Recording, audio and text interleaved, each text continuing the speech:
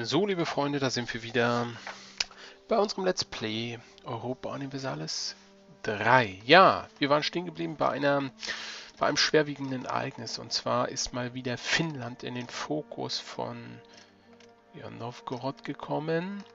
Ich weiß auch warum inzwischen, weil Novgorod hier so eine absolut blöde Mission hat.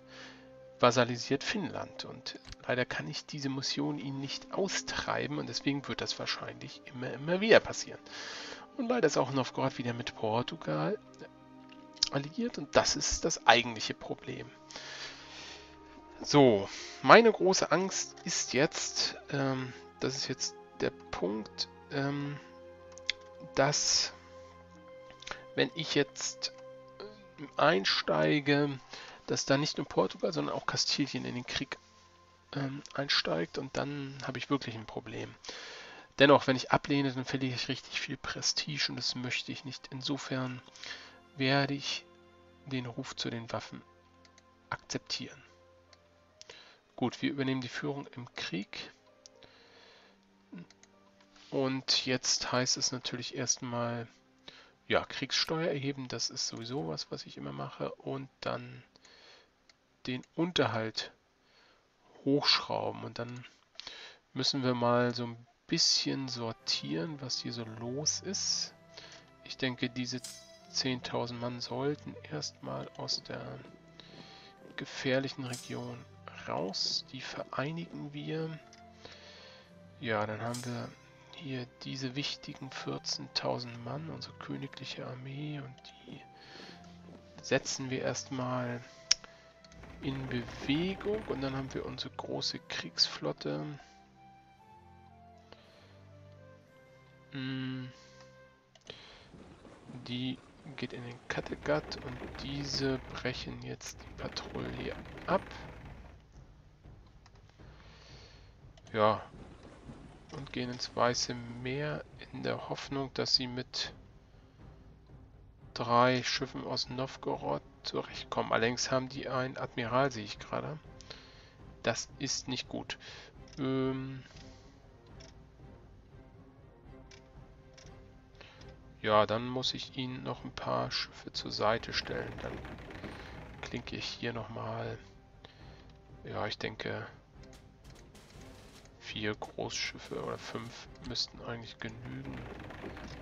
Die klinke ich dann nochmal aus, die dann auch dort hinein schippern können. Gut, liebe Leute, dann schauen wir mal hier unten. Da ist ja auch Portugal in der Nähe und ich denke, mit denen werden wir uns dann auch mal befassen. Und dann, dann gilt es zu beobachten. So, Holstein ist an unserer Seite, großartig, Mecklenburg auch, Pommern auch. Angst habe ich davor, dass Kastilien losmarschiert. Darauf habe ich nun wirklich überhaupt gar keine Lust. Aber gut, das wird sich zeigen. Sonst denke ich, ähm, zumindest hoffe ich, dass wir mit, mit Novgorod eigentlich kein Problem haben werden. So, trotzdem senden wir den nächsten Kolonisten und jetzt gucke ich mal, wo wären wir denn bitte jetzt gerade?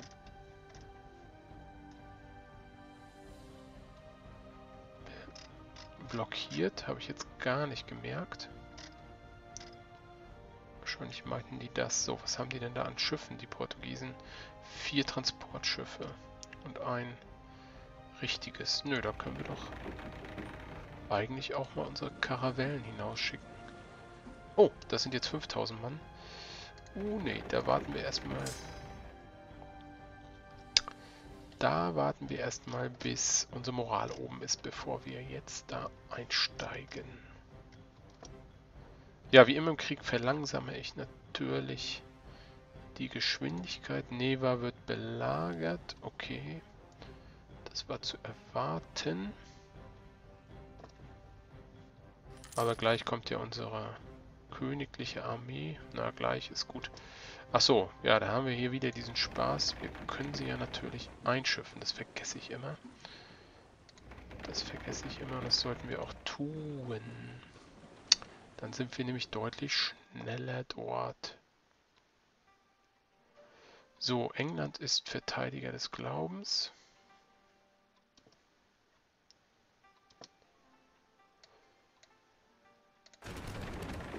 So, jetzt gibt es eine erste kleine Seeschlacht.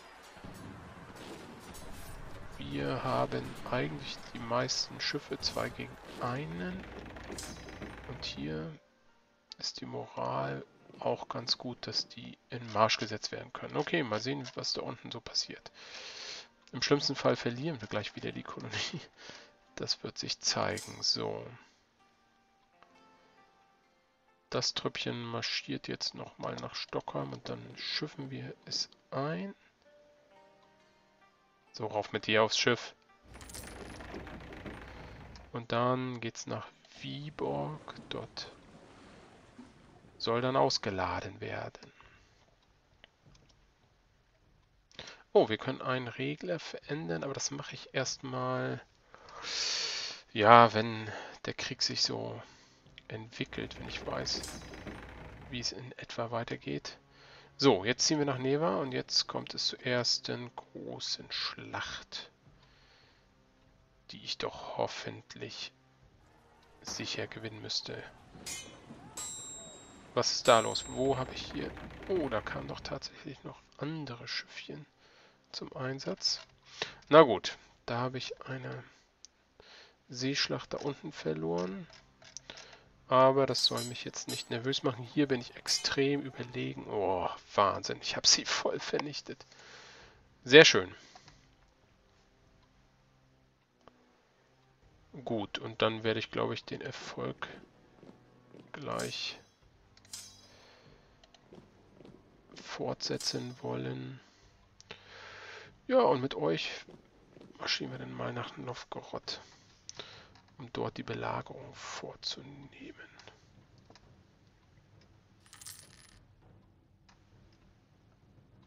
Gut. So, hier geht's, kommt es zum Gefecht, warum auch immer er mir das nicht angezeigt hat. Und auch hier bin ich heftig überlegen. Na, doch nicht so, wie ich dachte. So, Neva wird schon wieder angegriffen von irgendwelchen kleinen Truppen.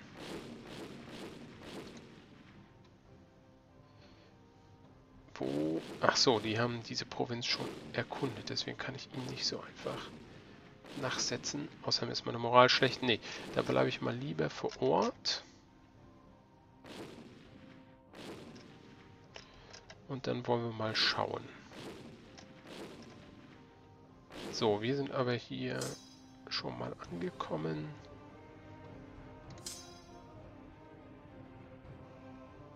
Ja, ich hätte eigentlich hier direkt einziehen können. Das mache ich jetzt auch. Mit den 14.000 gehe ich auch hier rein. Und dann wollen wir doch mal sehen, ob wir nicht den... Sie hauen ab, Karelien, 8. November. Tatsächlich, sie hauen noch Kohle ab. Hm, sie schaffen es sogar. Naja.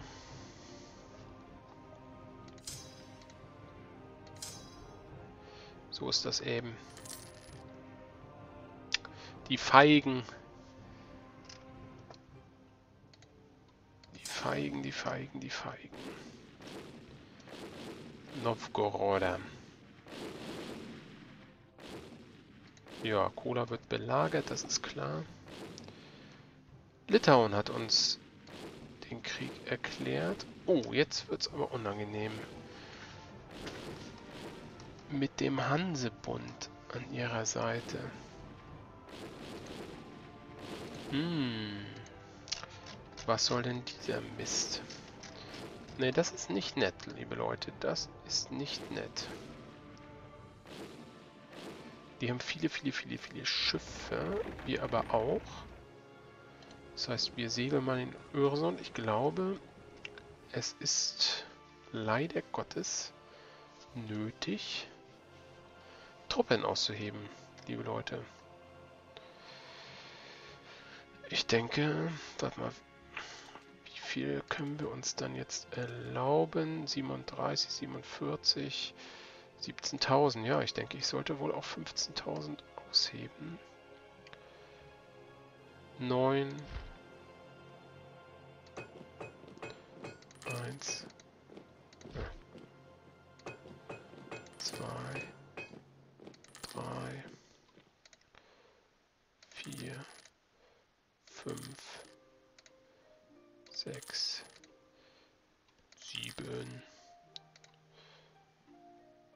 verdammt, mein Geld geht mir gerade ein bisschen aus. Da muss ich dann nochmal hübsch abwarten. Ich hoffe, das... Uh, ich hoffe, das klappt noch, ja. So, Finnland ist auf unserer Seite, Holstein ist auf unserer Seite, Byzanz ist auf Seite Litauens, Anhalt ist auf Seite Österreich. Mm. Gut, mehr Pommern ist auf unserer Seite, ist klar. Ukraine ist irrelevant, Jaroslav ist irrelevant, okay. Tja, ein zweiter blöder Krieg. Hm, hm, hm, hm. Das ist immer schon ein bisschen Nein, jetzt geht's weiter, ne? Augsburg, Pfalz, Schlesien, Modena, Pisa, ja.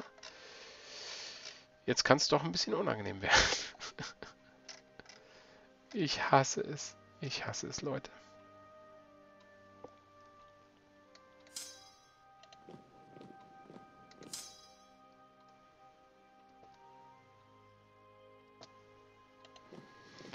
Ich hasse es wirklich.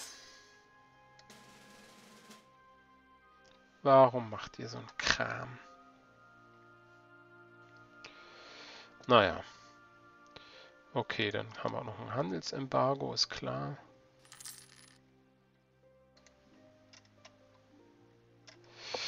Tja, was aber nett ist, die Hansebund-Leute kümmern sich jetzt erstmal um die Rebellen, während 1000 Mecklenburger Lübeck belagern und ich hier immerhin auch den Hafen blockiere. Hm, hm, hm. So, ich warte mal. Gut, da habe ich 1000 Mann in Neva vernichtet, ist klar. Und jetzt marschieren wir weiter nach Novgorod, ja.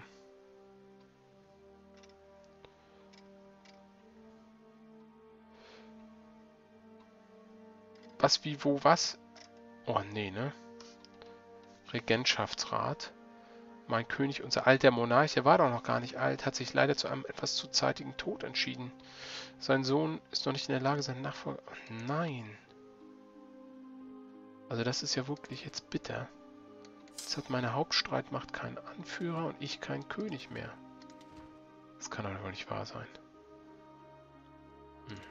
Außerdem müssen wir wahrscheinlich einen General ausheben die Armee hat auch keinen Anführer. Stopp. Das geht natürlich gar nicht. Hier muss Simon Adlerkreuz kommen und ja, wir brauchen einen General. Wir haben kein Geld. Ja, das ist ja jetzt, läuft ja alles nicht so optimal. Jetzt kommt es erstmal zur Schlacht. Gut. Da sind wir aufgrund unserer Technologie wahrscheinlich überlegen, aber so richtig toll ist das auch nicht gewesen. Okay, jetzt haben wir erstmal Kohle, um uns einen General zu rekrutieren. Karl Moth. Der wird Anführer und dann setzen wir den nach. Die wollen nach Lappland. Dann gehen wir eben auch nach Lappland. So. Außerdem haben wir hier ein bisschen Geld bekommen. Ich muss mal kurz schauen. 4, 5, 6, 7. Dann heben wir jetzt noch 8, 9. Und ja, 1, 2, 3, 4 und dann noch 2,32 Fünder. Tja. Mal gucken, ob das Ganze noch rechtzeitig kommt.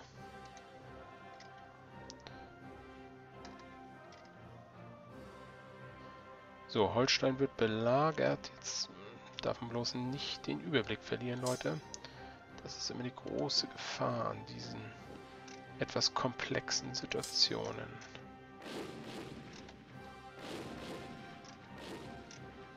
Hier ist die Moral wieder gut. Okay.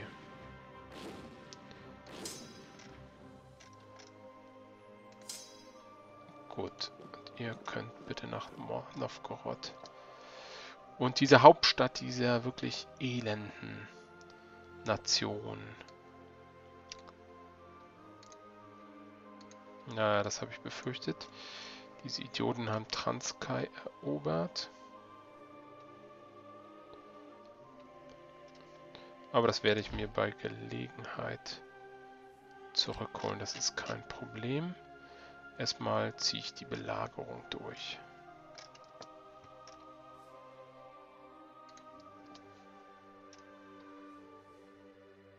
Das holen wir uns zurück. Das wäre doch gelacht.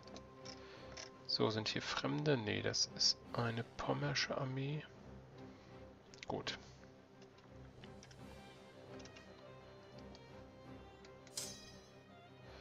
Gut, Novgorod haben wir gewonnen und belagern jetzt diese hübsche Stadt.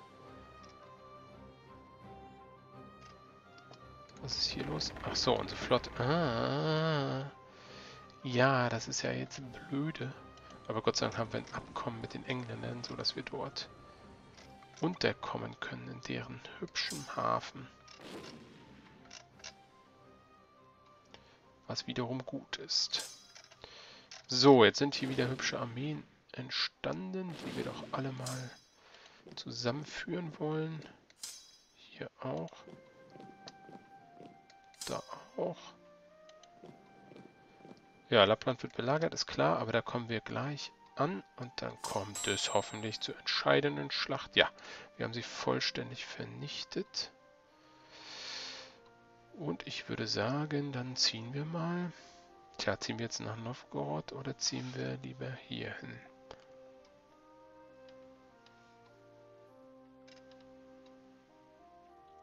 Ich glaube, wir ziehen dorthin dann mit unserer Transportflotte greifen wir doch. Ähm, halt, wo ist sie? Greifen wir doch in Lübeck ein. Das wäre doch gelacht, wenn wir uns von solchen Flaschen hier fertig machen lassen.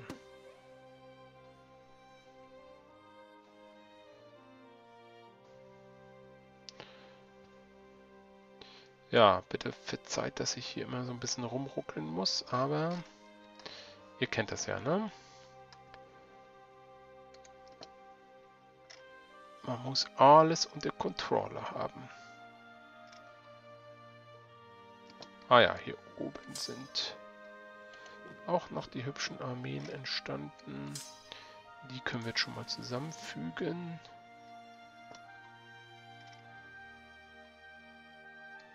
So, und die Kanonen sind auch fertig.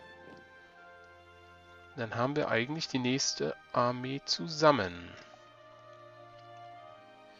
Für die würde ich gerne... Oh, scheiße. Oh, entschuldigt, das sagt man nicht. Aber ein General ist gestorben. Ich glaube, den brauchen wir jetzt gar nicht mehr so dringend. Das kriegen wir auch ohne General hin, aber trotzdem brauchen wir, glaube ich, einen neuen, weil diese Armee soll ja natürlich auch noch einen haben. So, hier sind drei Schiffe des Hansebundes. Was machen die denn da? Können wir die nicht hier mal schnell erledigen? Das wäre doch auch nett. Ja, prima. Völlig vernichtet und da ist dann auch gleich die andere Flotte, die große Flotte. Ja, sehr gut, wir haben sie gestellt. Das wird hübsch. Das wird richtig hübsch, Leute. Wunderbar. Na gut, so toll nur auch nicht. Wir haben ein Schiff gewonnen. Die Adler von Wismar. Aber okay, immerhin. Ja, und ich denke mal, dann schwimmen wir gleich mal wieder dahin. Und wunderbar die nächste Seeschlacht gewonnen. Und dann geht's wieder zurück. Obwohl wir könnten eigentlich mal für kurze Zeit uns vielleicht reparieren?